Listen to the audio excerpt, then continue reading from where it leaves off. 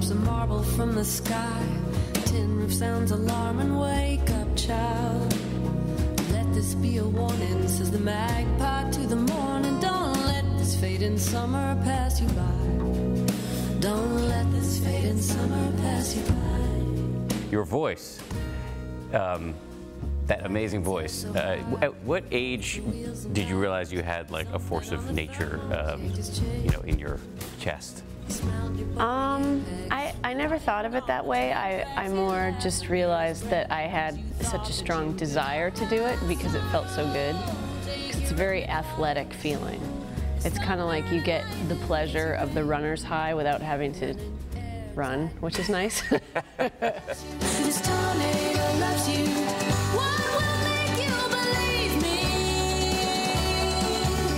You have this old farmhouse in Vermont, and you recorded parts of the album in there. In the barn, yeah.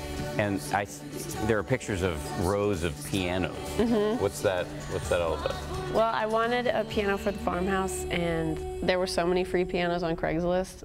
I thought, well, I got a whole barn. Let's see how many pianos I can get. So I got eight. And you also allowed some of the sort of natural accidents, Yes. frog sounds or whatever, to stay Yeah. on the album.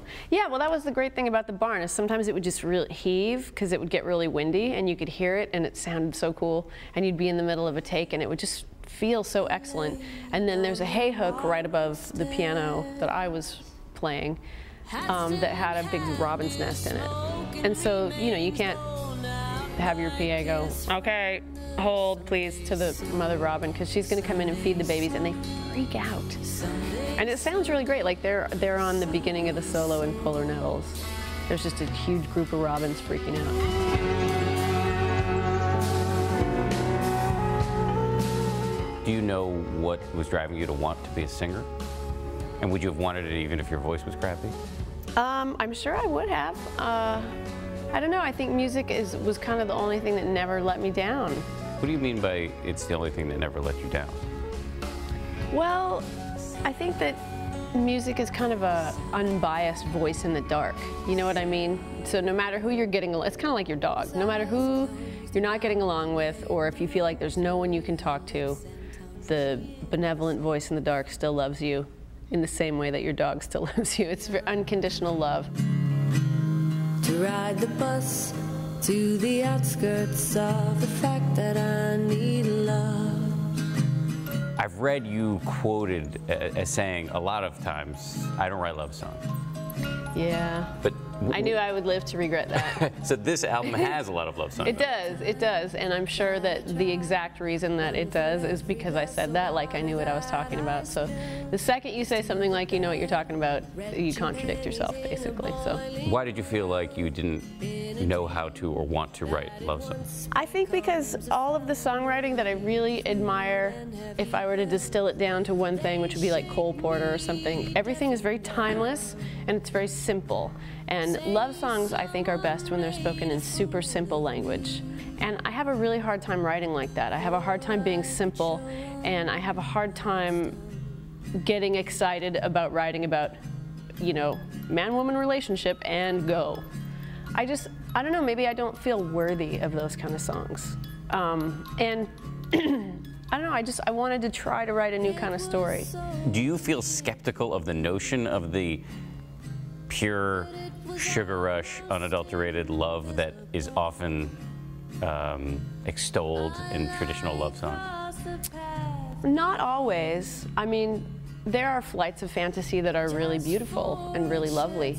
You know, they have their place and they're very important that way. I just, I just didn't feel I was good at writing those kinds of songs. And you know, I'm kind of crabby about that kind of stuff in my own life, so. Oh, that's I'm what not- I was getting at. Oh, yeah, I'm not, I'm not really, I don't know. I, I often sometimes go, am I a freak? Because I'm 38 years old and I'm not married and I don't have any kids. I'm not the crazy cat lady yet, if that's what you think, but I, I didn't say anything.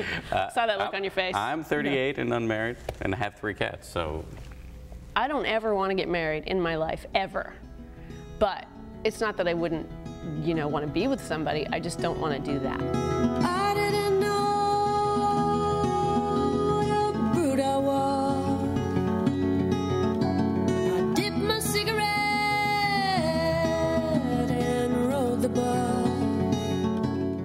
Story that you actually ran away from home? I didn't run away, but I left home at 15. That's not running away. You just left. No, no, I the- just left. And where did you live? I lived in Tacoma, Washington at the time. Uh, But when you left your parents' house, were you, did you? I had a have place to friend whose mom let me live in her basement at that time. So that must have been pretty. Crappy. Brutal, It was yeah. pretty crappy. Yeah. Yeah, it was crappy.